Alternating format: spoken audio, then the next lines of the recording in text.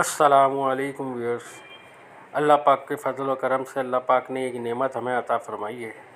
इसको कहते हैं बेलगिरी का फल। ये बेलगिरी का ये जो फल है, इसके अल्लाह पाक ने बड़े इसके अंदर फ़वाद रखे हैं। आजकल बहुत ज़्यादा जो है बीमारियाँ आम हैं, जिसमें कमर का दर्द पट्टों का दर्द, घुटनों में तकलीफ़ और सबसे ज़्यादा ख़तरनाक बीमारी जो है, गठिया की तकलीफ़ होती है। इस गठिया की तकलीफ़ जिसको हो जाए, ये ज़्यादातर बड़ी उम्र में होती है।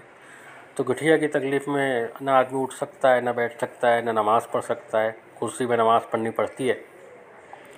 तो उसके लिए अल्लाह पाक ने ये नेमत अता फ़रमाई है। और इसके इसके इसके फ़ायदा सबसे बड़ा ये है कि अगर हम इसको, इस फल को, ये फल है, अल्लाह पाक ने फल दिया है, कोई दवाई नहीं है। इस फल को हम अगर इस्तेमाल करें तो रोज़ाना एक इसको हम अगर इस्तेमाल करेंगे तो अल्लाह के फ़ज़ल करम से अल्लाह पाक उसमें बहुत शिफा रखी है अल्लाह ने। इस मर्ज़ के लिए, गुठिया की तकलीफ़, कमर के दर्द, जोड़ों के दर्द के लिए तो इसको हम इस्तेमाल करें। ये वैसे तो ये पाकिस्तानी फल है नहीं गालिबा बांग्लादेश का ये फल है। तो इसको हम इस्तेमाल करें। इसके अंदर गूदा होता है और इसको, इस गूदे को जो है, इसको खाना है चम्मच से। और अब इसके अंदर मसला ये है कि ये ना तो छील सकते हैं, जैसे कि हम सेब छीलते हैं, इसको छील भी नहीं सकते। दूसरा ये कि इसको हम काट भी नहीं सकते, क्योंकि ये बहुत सख्त होता है ऊपर से तो इसको हमको तोड़ना पड़ेगा। तोड़ने के लिए तो उसको तोड़ा नहीं जाएगा, इसको इस तरीके से जो है, इसको हम, इसको तोड़ेंगे और इसको तोड़ने के बाद छुरी से या किसी भी चीज़ से हम तोड़ सकते हैं इसको। और तोड़ने के बाद इसके दो हिस्से हो जाएँगे दो टुकड़े हो जाएँगे और उसको फिर हम जो है चम्मच से इसके अंदर एक गूदा होता है फल है ये और उसको गूदे को हम खाएँ। सिर्फ़ इसको खाएँ। बीज भी खाएँ। और उसको अगर इसके अंदर बीज होते हैं छोटे छोटे बारीक बीज होते हैं अगर खाना चाहें तो खा लें वरना इसको साफ़ कर लें निकाल दें आप और उसको हम खा सकते हैं।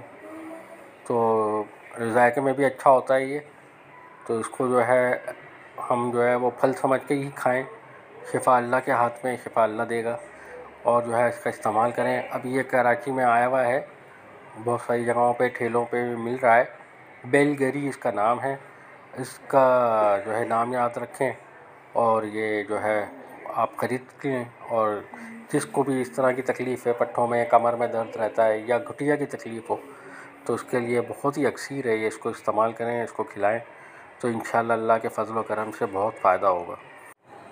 तो व्यूअर्स इसको इस्तेमाल करें, जो भी मरीज़ है, उनको खिलाएँ। इन अल्लाह के फ़ज़ल करम से बहुत फ़ायदा होगा। और फल का फल है, कोई नुकसान नहीं है इसका। तो व्यूअर्स लोग इसको इस्तेमाल करें और हमारे इस चैनल को सब्सक्राइब प्लीज़ करें और ज़्यादा से ज़्यादा इसको शेयर करें ताकि जो भी इस तकलीफ़ में है, उसको ज़्यादा से ज़्यादा फ़ायदा हो सके। और सब सब्सक्राइब, प्लीज़ इसको जो है ज़्यादा से ज़्यादा सब्सक्राइब करें हमारे चैनल को। अस्सलाम वालेकुम वरहमतुल्लाह